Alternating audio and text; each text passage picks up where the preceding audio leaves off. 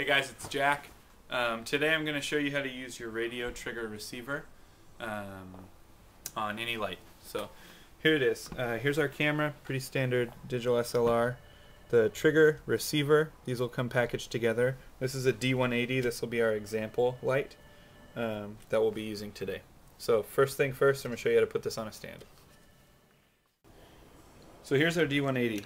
Um, what you'll do is you'll loosen up this bottom knob and then that'll just slide on the top of the light stand and then once you tighten it up you'll feel it cinch up and then you're ready to plug it in with the port. Okay, you'll test it, you'll see this green light blinking and then there's a test button and that'll test the flash.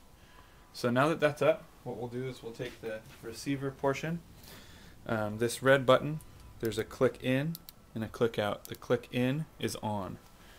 Um, so you'll find the sync port right here on the D180 it's right there.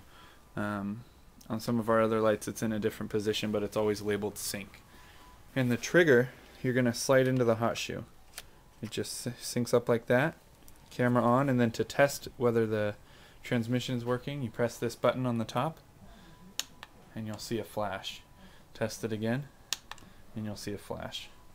Um, so now that everything's set up, let me show you how to use it, proper settings, um, and then what it does for you, um, why to use it in the first place. Okay, so uh, proper setup, what you'll do is you'll take your light, your light um, and you'll find a healthy six foot distance.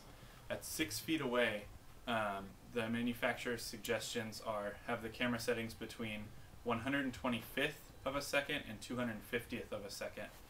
Um, and then that at um, any given speed within there, a good healthy place to start in reference to the f-stop is about f8. Um, and then from there, uh, the speed won't be a big determinant of how much light's taken in since the flash is giving off so much. Um, but you, uh, moving up and down with the f-stop, you'll uh, get the picture brighter, you know, attract more light. So another thing too is we're using this light just direct lighting uh, no soft boxes or umbrellas or anything. So you can notice some harsh shadows in the pictures that we showed you.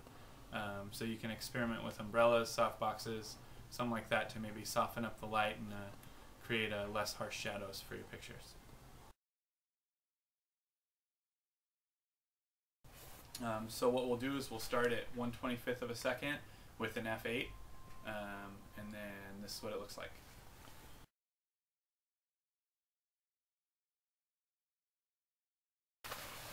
Yeah, so um, so the F8's a little bright. Uh, some of my face is a little washed out, so now we're going to try F10 with the same speed.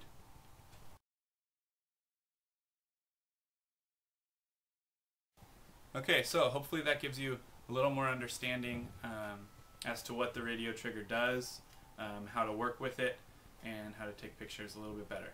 So, um, if you follow these steps, you can trust the equipment to do its job and have fun shooting.